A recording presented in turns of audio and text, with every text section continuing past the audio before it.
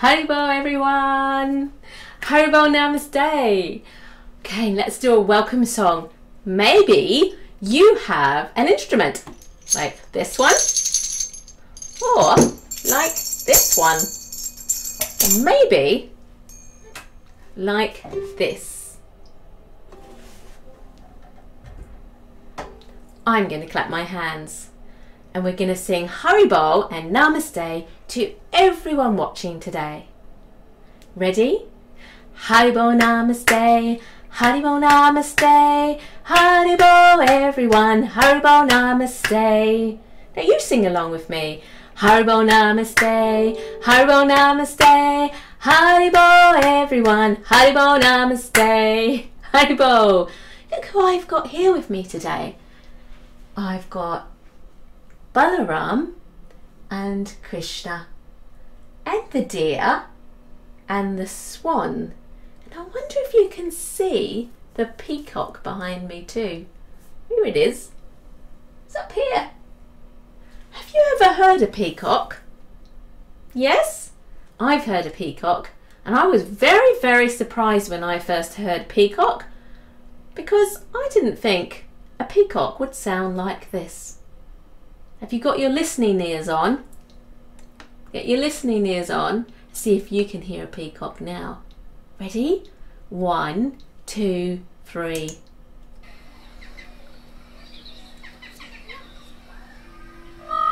Oh.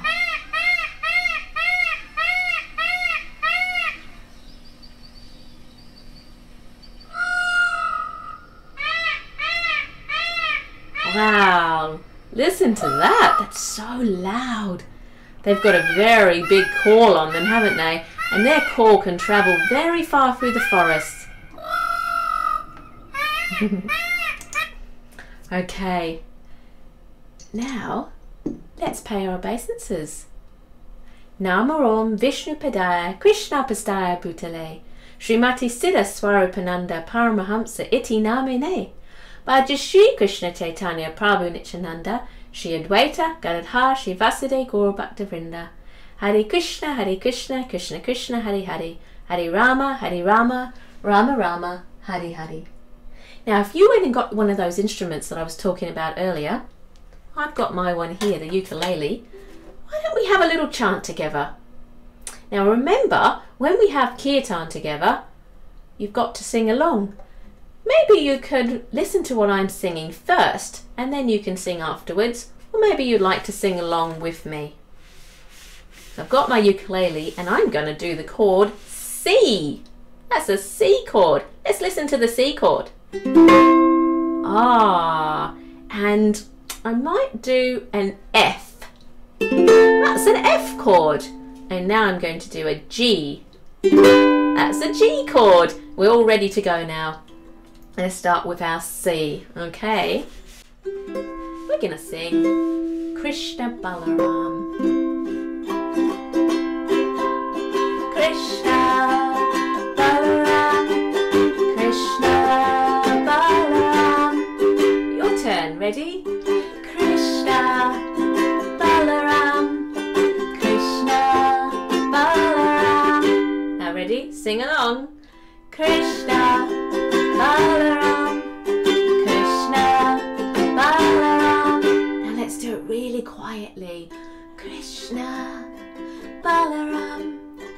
Krishna Balaram. And let's do it really loud. Krishna Balaram, Krishna Balaram, Krishna Balaram, Krishna Balaram. Let's see if we can sing really fast. Ready? Krishna, Krishna, Krishna, Krishna, Krishna,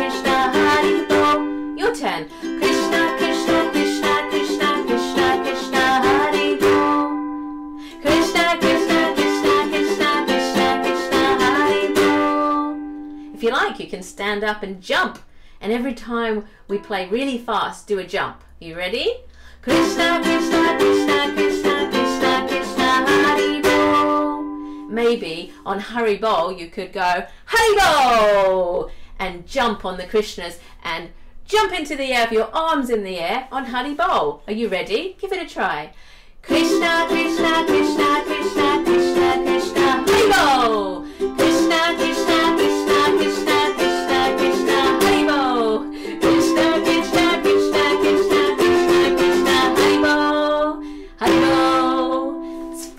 an instrument, isn't it? And it's fun having a kirtan together too. Now, I have a little story for you today. And the story comes from this book here. This is the Chaitanya Charit- Charitamrita. That's a big word to say. I had a hard time saying it then too.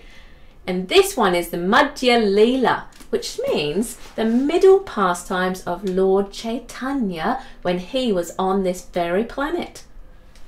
Now, this story is about the activities of Sakshi Gopal. Sakshi Gopal. Well, Sakshi means the witness Gopal because in the story, this Gopala deity did something very amazing that he'd never done before. This is how the story starts. Well, Lord Chaitanya was walking along with all of his associates and Lord Nityananda. They were travelling to many, many beautiful holy places. Now they came to a temple of Gopala. The Gopala deity was in this temple, in a place called Kataka.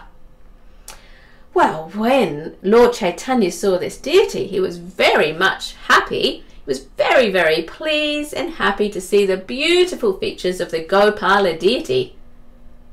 While he was there, he engaged in lots of kirtan, just like we did. And he danced as well. And he was overwhelmed with love of Gopala. Well, at that very time, Nityananda was walking around the town and he heard the townspeople talking about how this particular deity came to be in that temple. So he thought, I'm going to tell Lord Chaitanya this story too. So he went back to the temple where Lord Chaitanya was and he told him this story about how this very deity happened to be in this temple. And Lord Chaitanya heard this story with great pleasure. Going to go to my other book now because it's got some pictures in that I can show you. It's this book here and it's called Sakshi Gopal. Well, once there lived a Brahmin, an older Brahmin, and a younger Brahmin. They decided to go on a pilgrimage together. A pilgrimage is um, traveling, like going on a holiday, traveling around to many nice places that were sacred places where Krishna had displayed his pastimes in India. They wandered around. Now, the younger Brahmin was serving the older Brahmin very, very nicely. He carried all his heavy items for him and cooked for him every day. They travelled past many places and they went to the 12 forests of Vrindavan and bathed in the Jamuna River, which you can see right there with some nice temples around it. The young poor Brahmin, so the younger Brahmin was poor. He didn't have much money, but the older Brahmin was very, very wealthy. So the younger Brahmin was serving him like a, a servant, but he was doing it out of love without any payment needed. The young poor Brahman took great care of the old wealthy man, and the old Brahman was very pleased with the young Brahman's services. And he said to him, You have served me better than my own son. I did not grow tired at all in our journey. So, the old Brahmin said, In return, I promise you my daughter in marriage. Oh, well, the younger Brahmin said, Dear sir, well, I'm not very educated and I'm very poor. I really don't think I'm suitable to be the husband to your daughter. I serve you to please Lord Krishna, for he likes to see his devotees serving the Brahmins. Besides, you cannot give me your daughter without the consent of your friends and relatives, which means the Brahmin, the older Brahmin, had to ask his wife and his sons and daughters first before saying that he would give that that he was allowed to give the daughter in marriage to the young Brahmin. But the old Brahmin was adamant. He was determined that he was not going to change his mind. And he said, I'm going to give you my daughter in marriage. I promise you this. Well, said the young Brahmin, if you say so. If you are fully determined to give your daughter to me, please say so in front of the Gopala deity, and he will be our witness. And a witness is someone that hears or sees something happened. So together they entered the temple, and the old man bowed before the deity and said, Dear Lord, please witness that I have given my daughter in marriage to this young man. Well, many days passed by, and one day the old Brahmin said, I better tell my wife and my children that I have made this promise. Because they were back at the village now, back home after their travels. And he was a bit worried that when he told his family that they would not agree, and he'd been holding this secret in for a long time, and his family said, What? No, your daughter can't marry a poor man. Do not fulfill your promise. You cannot do this, they said. Then the elder son spoke, and he was very angry about it all and he said, Look, the deity lives far away in Vrindavan. How can he come here and be a witness? Don't worry. You do not even have to lie. Just say that you can't even remember making such a promise.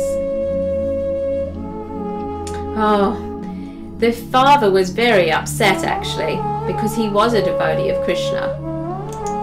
And he prayed, Dear Lord, please help me because I can't upset my family and I can't break my promise either. What shall I do? he said. Well, one day the young Brahmin actually came to visit him, remembering, well, I better come now and see if this Brahmin's going to keep his promise. And he came knocking at the door. The elderly Brahmin didn't say anything when he came to the door. And quickly his son interfered and rushed to the door, screaming, How dare you want to marry my sister? Just get out of this house, he said. Well, in, in fear for his life, he ran into the street and he said, he collected some people in the street and he said to them, Listen, listen up. This gentleman in this house over there promised to give me his daughter in marriage and now he refuses to do it. Please go and ask him why he's done this. When the villagers present requested him to answer, the elderly Brahmin said, My dear friends, I do not remember making such a promise. Well, all the townspeople were very uh, bewildered. They couldn't understand. Whom should we believe? The young Brahmin explained the whole story and told them, Hey, listen, he promised in front of the Gopala deity. So all the villagers came and they said, Is this true? Then he couldn't hesitate any more, and the old man said, Everything this young man has told you is true. And the young then the Brahmin's son said, Well, if Gopala comes here as your witness, I will give you my daughter. I will give you my sister then. Go on, go and get your witness then. You see, he didn't have any faith in Krishna, the Brahmin's son. He didn't have any faith, so he thought, well, go on then, because he knew, well, he didn't know, he thought he knew that this deity could not walk. He definitely couldn't come here and, and be a witness anyway. So he was like, go on then, off you go. So the, the um, young Brahmin travelled very, very far again, all the way to Vrindavan, and as soon as he reached Vrindavan, he went at once to see Gopala. When he went to see Gopala, he said, My dear Lord, I am not interested in getting the Brahmin's daughter as my wife, but I do actually feel great pain that this poor Brahmin, he had to break his religious principles of truthfulness because of his family. Please be merciful to both of us and save us from the sin by acting as my witness. Gopala replied, But I have never heard of a deity walking from one place to another, he said. well, the young Brahmin said, My dear Lord, if you can talk, you can walk. You are not a statue, you are Krishna himself, the Supreme Person. Please walk there with me even though you have never done this before. Gopala was defeated and he smiled. I shall go with you. I shall walk behind you, but do not try to see me by turning around. As soon as you look at me, I shall stop and remain fixed in that very spot. You will know I'm walking behind because you will hear the sounds of my ankle bells.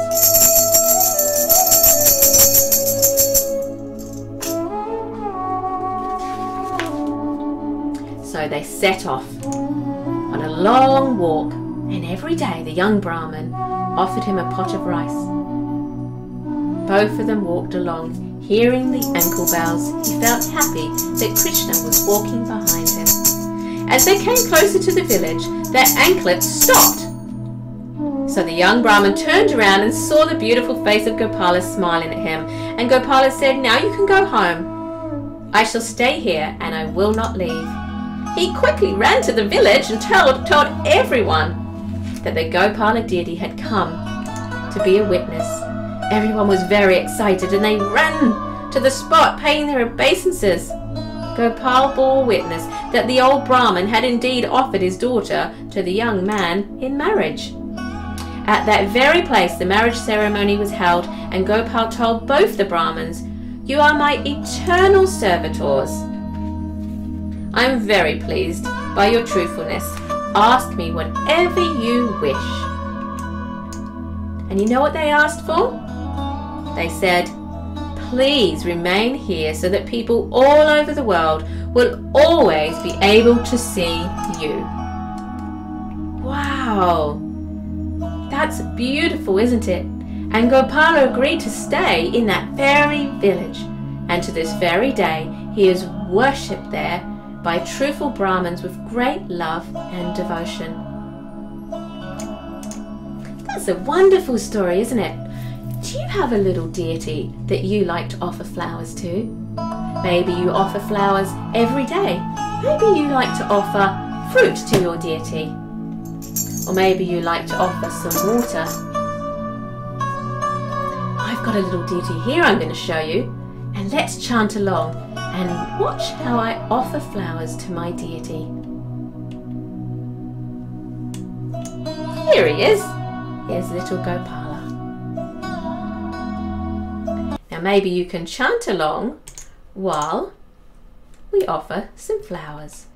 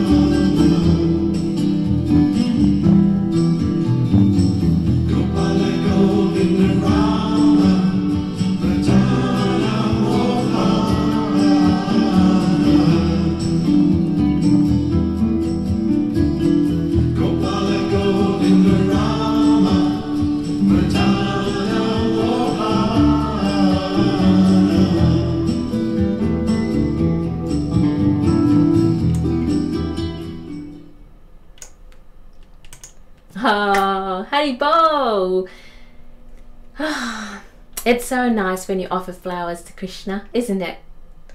Okay, well, do you want to try and do a song with me? I've got a really nice song about when Krishna lifted Govardhan Hill. I'm going to use my ukulele. Okay, I'm going to get my ukulele now. And this song is called Krishna you are number one. And I want you to sing along with me too, okay? So we're going to sing to Krishna. Are you ready? Okay. So it goes, one cowboy lived in Vrindavan. His name is Krishna Yasoda Nandana. That's the name of Krishna. Krishna Yasoda Nandana. Yasoda Nandana means the son of Yasoda. That's Krishna's mother, Yasoda. And where does he live? Vrindavan. And is he strong? Yes.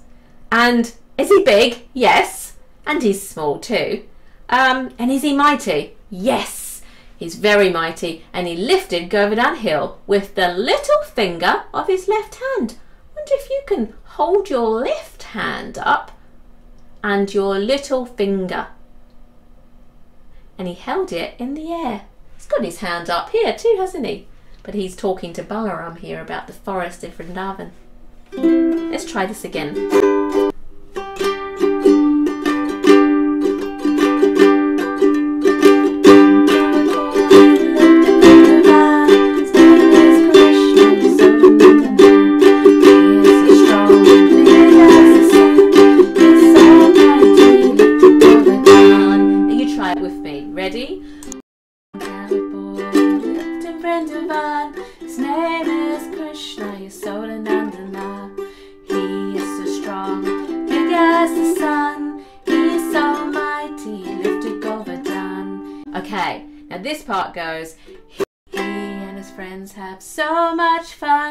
Krishna, Krishna, you are number one. Now I want you to sing that part with me. It goes, Krishna, Krishna, you are number one. And when we go number one, I want you to go number one.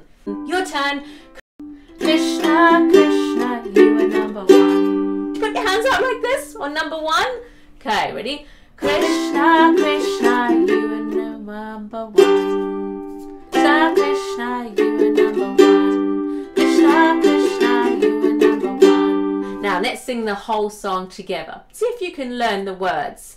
Maybe you can make a little dance up with it, or maybe you'd like to clap your hands or play your instrument too. Are you ready?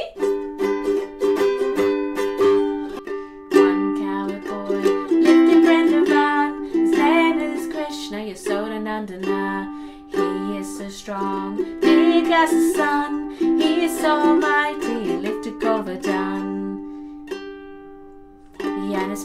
have so much fun. Krishna, Krishna, you are number one. Krishna, Krishna, you are number one. Krishna, Krishna, you are number one. Hari Bol! That's a great song, isn't it? Okay, well, it's time to me finish up now. Maybe you'd like to see my little friend Possum and give her a wave too. Possum! Come on, Possum. Here she comes. She's coming now. She is. Hey, Possum, how are you going? Did you like that chant? Do you want to wave to all your friends out there? Can you wave to her too? Give her a wave. Oh, she does like to be part of everything, this possum. She's been sitting down in her hole the whole time, listening to the story. And, and she just kind of woke up. She's a little bit sleepy still. I think she's giving herself a little clean. okay, let's sing a Namaste song to finish today. Put our hands into prayer. Possum's got her hands in prayer too. okay, are you ready? Namaste, I give my respects to you, my friends. Namaste, Namaste, I bow my head to you, my friends. Namaste. And let's clap it. Namaste, Namaste, Namaste, Namaste. Namaste, everyone. I hope you enjoyed this story. Have a great day and remember to have kirtan. Hari Bol! Govinda, Govinda, my friend. Sweet Govinda.